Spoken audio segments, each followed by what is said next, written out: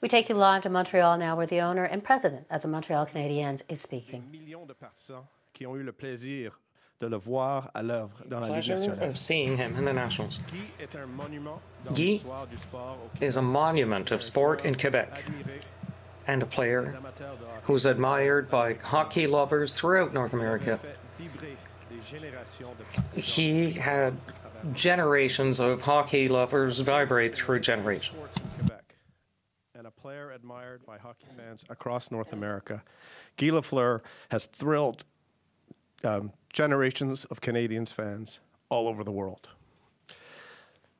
La famille tient à remercier le public The family wants to thank the public for its messages and sympathies et demande que l'on respecte and asks durant cette période. that we respect his privacy during this period. We'll take questions now. It seemed that anyone who was ever around Guy Lafleur for any amount of time seemed to feel an aura about him. I- I'm wondering if, if that was the same for you and, and what it was about the person that, um, that exuded that sort of a, a different feel, I guess. Yeah, so I, was lucky. Um, I got to see him um, from the very beginning. Um, I was born in 1970, and uh, and I got to live uh, live to watch. I, I was able to watch him as a as a young kid. Um, and in those days, you look up at this big hockey player uh, in admiration, and uh, you can't believe how um, privileged you are to be able to to, to speak to uh, the best hockey player in the world at that time. Um, and our family has lived uh, through three generations of our family have have uh, been with Guy, and so we really do uh, we really have spent many years with him. Um, I got to know him best um, after uh, I became uh, the owner of the Montreal Canadiens in 2009. Uh, I I signed him. Uh, one of the first things I did was to sign him on a 10-year contract to represent us as an ambassador. Um, and that was really important because he's such an icon in this uh, in this province um, across the country. Um, and that's when I really got to know Guy uh, after uh, after 2009 because we spent so much time together um, at events or um, just talking. Um, and I could tell plenty of stories about that. But uh, um, he's a wonderful person. He has an amazing sense of humor, um, and he's dedicated to everything he does all the time. Jean-François. Ma question va plus à- au jeune Geoff Molson. Quand vous pensez à Jordan Henry, quand vous pensez à Guy Lafleur, est-ce que When you think of uh, Guy Lafleur, do you have a specific memory in mind as a young Molson? Did you play with him maybe? What comes to you? Euh, I was young. Mais euh, pour moi, les, les, mon, mon For me, plus grand souvenir, My euh, greatest memory is la foule quand il touchait la rondelle. is hearing the crowd when he touched the puck. When he euh, started skating in a straight euh, line, the right right winger, La foule savait qu'il va y avoir the crowd knew va se passer. something was going to happen. Um, euh, électrisant. It was Euh, electrifying. C'était un caractère flamboyant. flamboyant He was a flamboyant character on the euh, ice. And I learned later that. He's also the same off the ice. But as a young child, my best memories are the crowd that would yell for him when he touched the puck.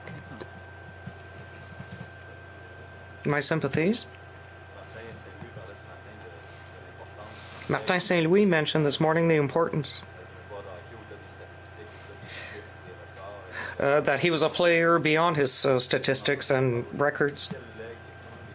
What is his legacy in your mind? How would you describe it? The legacy on the players and and the public in general. J'ai beaucoup pensé à ça aujourd'hui. I thought a lot about this today. Il y en a beaucoup. Mais And there's a lot. voulais en choisir un, But if I had to choose one, c'était quelqu'un qui était I would say he was a man who was always there for everyone. quelqu'un lui approchait, When someone approached him for an autograph, to talk to him, histoire, ca- tell him a story, it could have been anyone. fois. I've seen it hundreds of times. He took the time for the people. He listened and he didn't leave until he was done with that person. your family, Geoff, and condolences to you as well, Chantal. I know he was your hero. Um, I'd like to know, have you had a chance to think about some of the ways, I know you said you guys will announce things as, as time passes along here, but have you thought about some of the ways you'd like to honor Mr. Lafleur's legacy? Yes, um, we obviously, um, when uh, uh, when you know there's a possibility that this day is, is going to come, um, it's such an important. He's such an important person in this uh, in this province and country that you have to start thinking about uh, about that um, early. And uh, uh, today we're not uh, we're not prepared or ready to, to share everything. Um, but uh, um, in the Montreal Canadiens way, uh, I can assure everyone that it's going to be a great celebration of a great person. John? Geoff, uh, over here, condolences. Thank you. To you and your family. Um, We all know what Mr. Beliveau represented to the organization as kind of a conscience to the Montreal Canadiens. What are the qualities and the accomplishments of Guy Lafleur that you want to be the enduring image and influence on this franchise for current players and subsequent generations who've never had the, the opportunity to, to watch Guy play?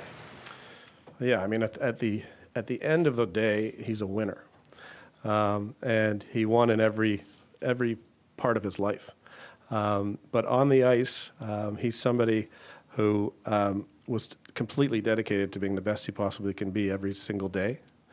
Um, and if our players, our current players, um, think that way, I think we're in for a nice uh, a nice ride with our players.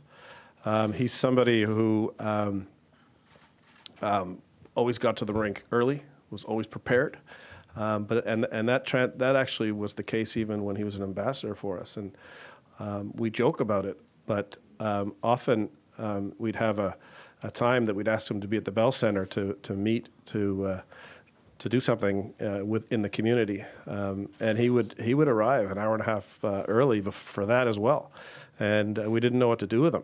Um, he uh, he would uh, he would arrive and sit in either my office or uh, Genevieve's office and and just wait for an hour and a half until we were ready for him. It was uh, it was very special. So um, he's he was dedicated. He did things the right way all the time, um, and I think that, that those messages can uh, can be relayed to our uh, current players. Yep.